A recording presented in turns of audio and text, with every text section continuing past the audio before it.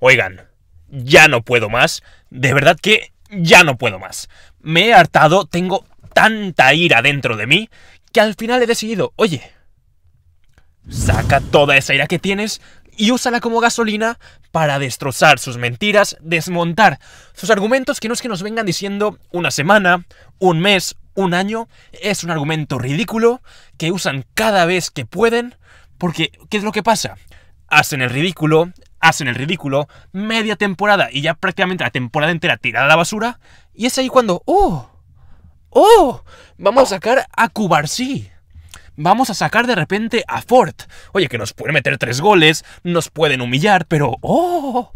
Oh, ahora que ya no tenemos nada que ganar y no nos jugamos nada, sacamos a Cubarsí, sacamos a Nico González, la temporada otra, sacamos otra temporada a Elias Moriba, otra a Ricky Puck, y es así año tras año tras año, porque hacen el ridículo, no aspiran absolutamente nada, ni a una Europa League, y usan la excusa de que, ah, pero tenemos muchos jóvenes. Y claro, la gente que no está en seguimiento continuo con estas. Con estos impresentables, se lo cree y va a Transfer Market, que ya, ya conocemos lo que es. 90 millones a Pedri. 100 millones a Gaby. Yamin Yamá. ¡Oh! Tiene dos goles en la liga. 90 millones. Ibrahim, que te hace escándalos en Champions, te decide partidos, le pondrán 20 millones.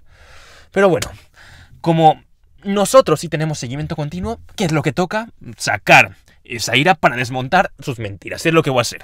Pero primero, uno que otro video que me encontré en Twitter que... Para levantar un poco los ánimos y sonreír, que también hace falta. Venga.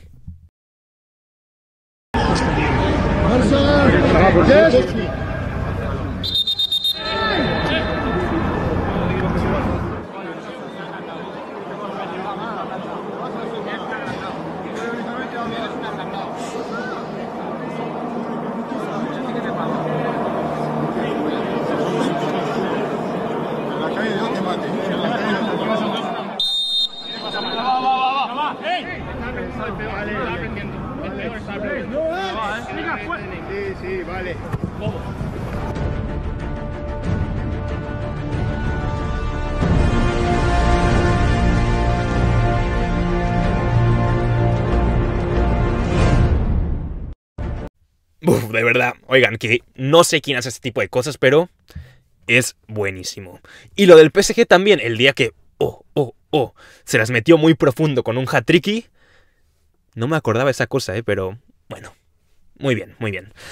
Simplemente un intermedio para calmar los ánimos, reírnos un poco y ya de vuelta al tema, porque también viendo Twitter y esas cosas, veo esta imagen y que sale Madame Seitan, pasioncita blaugrana, a ponernos este relato de los Ford, de los Marguio que en una semana acabarán en el Valencia, como si fueran los Avengers. Los Avengers contra Ultron y que van a salvar al mundo. Ajá. Ya quisiera ver, yo cuando empezó la temporada, que aspiraban a algo, porque es la palabra, aspiraban, ¿con qué es lo que jugaban? Y si nos damos cuenta, jugaban con esto. a ver, ¿qué encuentran que sea de la masía, además del césped que tanto le gusta a Xavi? ¿Quién? Mm, ¿Cundé, tal vez? No. Bueno, Joao Félix, eh, no tampoco. Lewandowski, no, no me, no me suena Lewandowski.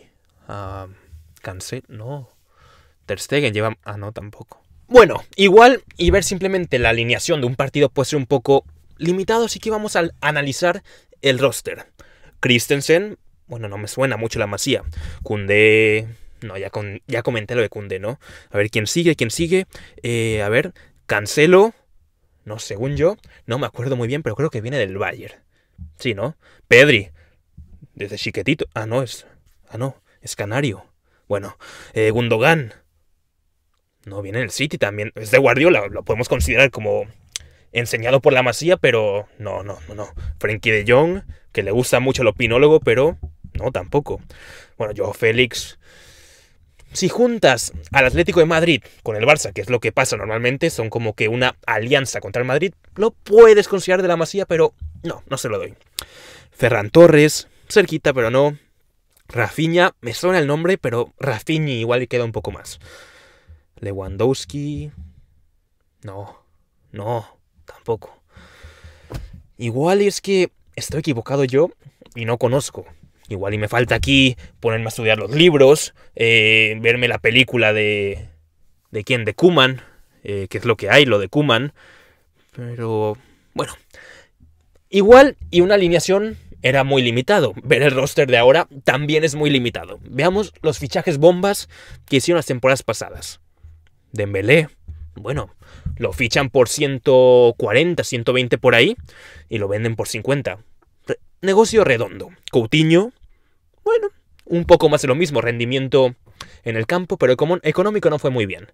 Griezmann, oye, top 1 mundial. ¿Qué te puedo decir? Y ya por último, al que me quiero analizar bien, es el de la Masía. Porque lo tachan y tiene ahí el, el sticker, el sello de la Masía, ¿no? Pero, ¿qué pasa? Oye, no habléis del Araujo que tiene 229 meses cuando llega al Barcelona. Prácticamente llega como un alabín y lo enseñamos desde chiquitit. Solo 229 meses. Ah, es verdad. Bueno, discúlpame, no lo sabía. Entonces, veamos el equipo que puede tener la cantera del Real Madrid, la fábrica. Veamos el equipo que puede hacer la siguiente temporada, considerando que fichemos a Casemiro y a Odegaard. Si estamos aquí para ser ridículo, bueno, hagámoslo. Empezando por abajo, bueno, Lunin, que temporada está siendo Lunin, canterano. Fran García, desde Chiquetit, como decían, canterano, perfecto por la izquierda. Después Nacho, tenemos a Lucas también, tenemos al que puso la piedra de Valdebebas también, que está haciendo, uff, qué temporadón, Carvajal, y como les decía, consideremos al supercanterano Casemiro, ¿no? Si estamos considerando Araujo que llega con 229 meses, bueno, Casemiro también.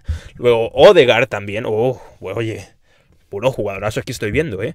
Y que ni se diga el siguiente, Valverde, canterano desde chiquitito, pues bueno, lo enseñamos desde que tenía dos años. Mbappé, oye, ¿cómo no voy a mencionar Mbappé? Que desde 13 años también, aquí jugó partido también, boh, hay que considerar a toda la cantera del Madrid.